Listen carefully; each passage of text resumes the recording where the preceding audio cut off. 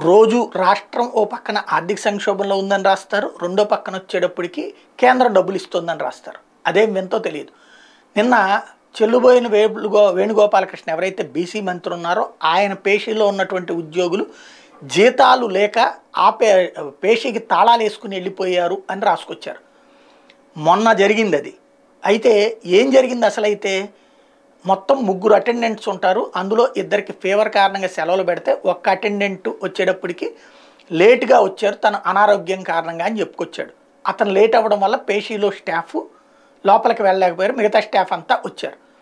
అయితే పేషీ స్టాఫ్ అంతా కూడా నిరాకరించారు. పనిచేయడానికి అందరూ వెళ్ళిపోయారు. చివరికి బతిన్లాడిగిని తీసుకుని వచ్చారు అన్నటువంటి ఒక దొంగ వార్తనే రాశారు. అదే సందర్భంలో పేషీ సిబ్బంది చెప్పింది కానీ మంత్రి కార్యాలయం చెప్పింది కానీ సచ్చిన కౌంటర్ రాయలేదు. అక్కడ ఇట్లా జరిగింది అన్నటువంటిది అలాగే ఇప్పుడు ఉద్యోగులకి జీతాలు లేవు లేకపోతే వాళ్ళకి జీతాలు లేవు వీళ్ళకి జీతాలు లేవు అంటూ రెచ్చగొట్టుడు వార్తలు రాస్తూనే ఉంటున్నారు. అదేవిధంగా ఇంకో పక్కన ఒక పక్కనేమో డబ్బులు వస్తున్నాయి అంటున్నారు కేంద్రం బలవంతంగా ఇచ్చేస్తుంది అంటున్నారు ఇంకో పక్కనేమో ఈ మాట చెప్తున్నారు. ఈ రెండిటి మధ్యన ఆ సారూప్యం అనే కంటే కూడా ఏదో ఒకటి ప్రజల మనసుల్లో విషం నాటాలన్నటువంటిదే కొనసాగుతూ ఉంది.